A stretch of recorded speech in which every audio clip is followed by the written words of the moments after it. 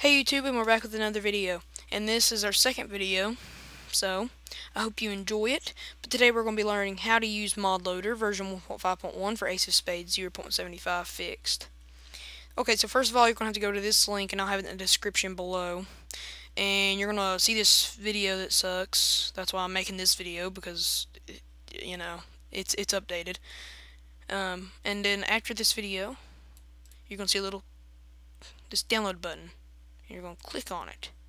It's getting hard, isn't it? Gosh. It's advanced skills. Click on that. Click download. It'll be in a zip file. And if you're if you don't have WinRAR, that's okay. But um, I recommend you getting WinRAR anyway. You don't have to, but you can just get the zip file. But eh, WinRAR's better. But you don't have to have it. I'm just saying WinRAR's good. And if you want it, just go to Google and type in WinRAR. So Okay, so since we just downloaded, which pretend we did, you're going to extract it to somewhere. I don't care where. Uh, your desktop, your documents. I got mine extracted in my documents.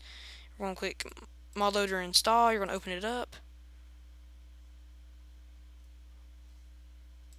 Or we don't. No, here it is. Alright. And we'll have this. And it'll probably already be up, and it'll say Browse for folder. Mine's in. You just browse where your Ace of Spades is installed and click on the Ace of Spades folder usually it's already clicked for you, unless you have it in some weird place, but I have mine on my local C drive and it just does it for me.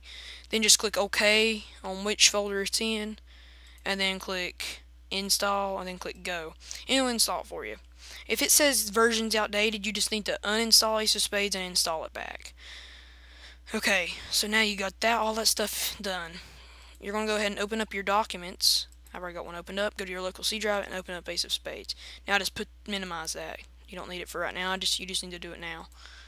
Cause no. okay. So right here on your desktop, you're going to make a new folder. So just right click new folder. And then in the folder, you're going to add all the stuff that you want in your mod.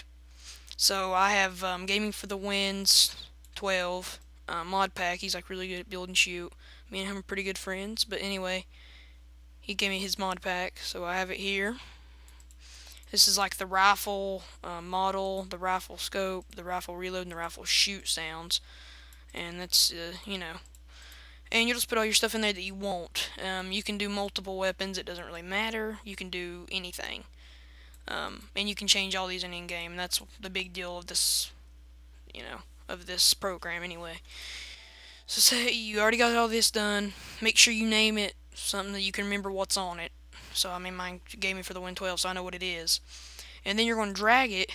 That's why I um, told you to open up your Ace of Spades folder. Go to your mod loader folder.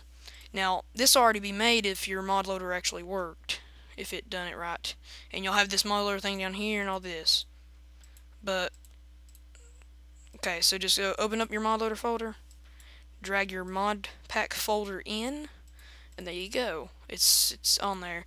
Now what we're going to do is just open up Ace of Spades and I want to show you for real. So make sure it's in the mod loader folder, not in any other folder. Make sure it's in the mod loader folder. If you don't have the mod loader folder, you just need to try installing it again because it didn't work. Okay.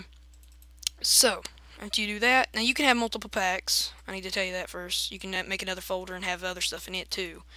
But, we don't want to because we don't have another mod pack to put in there. But okay.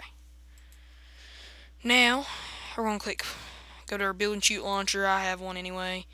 And we'll go ahead and, I got that one there, but who cares. And we're going to go ahead and go to a little server down here at the bottom that nobody's on. What would we do with Aloha P PK?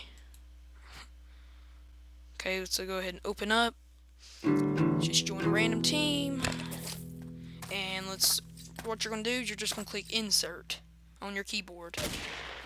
Alright, so you're going to get this menu. And I know this is bad quality for you because I've already looked. But over here in the upper right corner, you're going to see something called mods. You're going to click on the Gaming for the Win mod. Did you see just how my gun changed? Okay, that's good. Now, just click the escape button. Well, I'm kind of being glitchy right now because I'm recording, but you're just going to hit the escape button, you'll be out of it, and you'll have that mod pack loaded. All your skins will be on there and everything. Okay. Now that was kind of glitchy because my recording software kind of glitched out on it and stuff, but okay.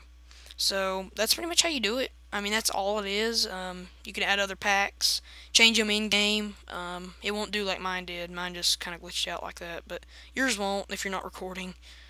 But um, yeah. So thank you guys for watching. Please like.